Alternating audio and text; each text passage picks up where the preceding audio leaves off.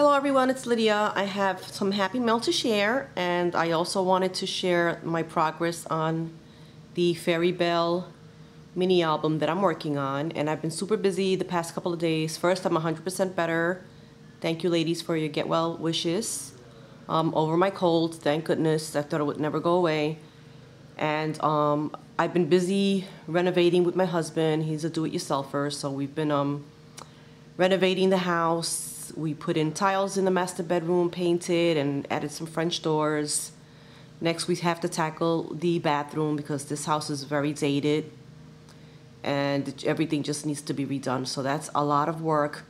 But um, I had some time to sit yesterday and start work on my Fairy Belle mini album, which is very relaxing after doing, uh, you know, dealing with paint and all that stuff. So anyway, I received a surprise envelope. This is from Mar Marla. She is KMSL Howell here on YouTube. And um, I didn't expect anything in the mail.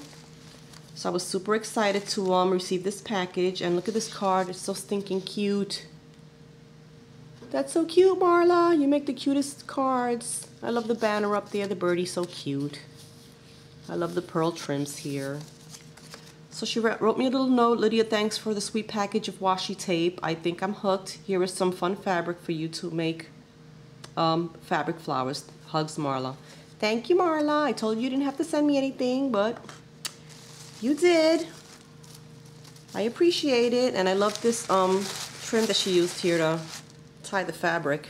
That would be great for a 4th of July layout or card or something. So I will reuse that, and I have this pretty, um, I like this tissue paper with all the little confetti on it. Looks like confetti. And she sent me a load of fabrics. Thanks, Marla.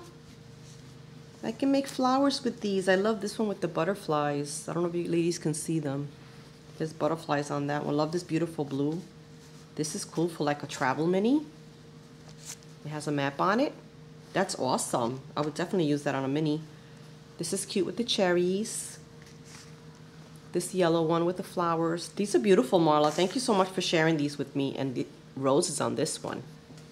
Gorgeous. Thank you, hon. Love ya. So I started work on my um, Fairy Belle mini album, so I have a hot mess on my table right now. So I decided I've never done um, a mini like with different shaped chipboard pages. And I don't have any of those mini albums because you can actually purchase them like that.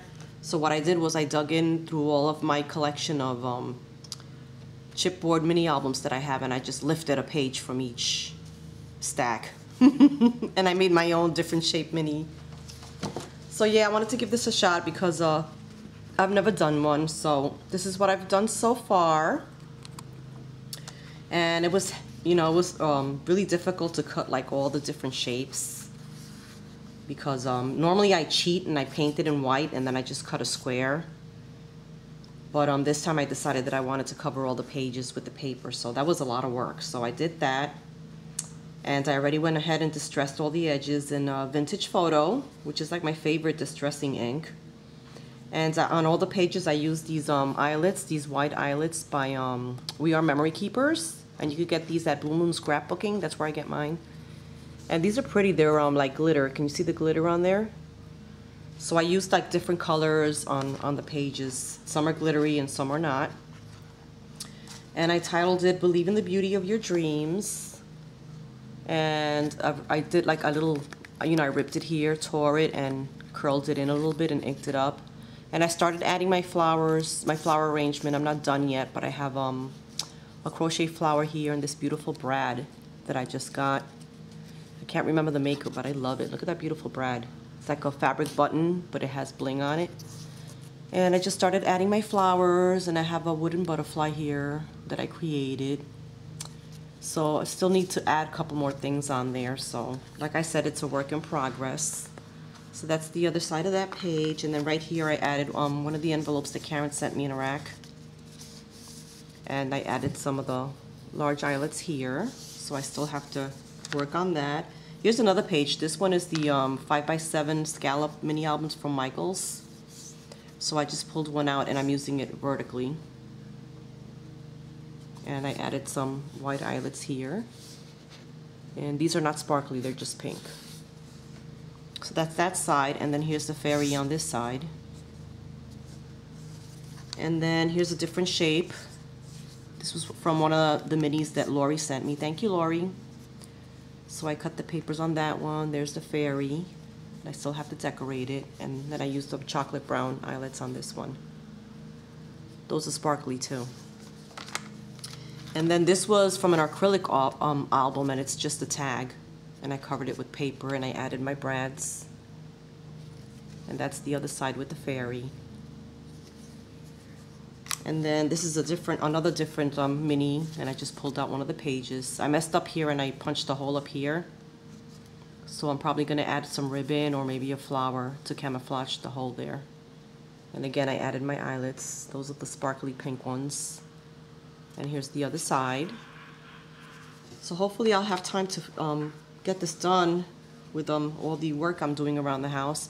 This is a canvas piece that Karen sent me in a RAK. Thank you, Canvas. Uh, Karen. Thank you, Canvas.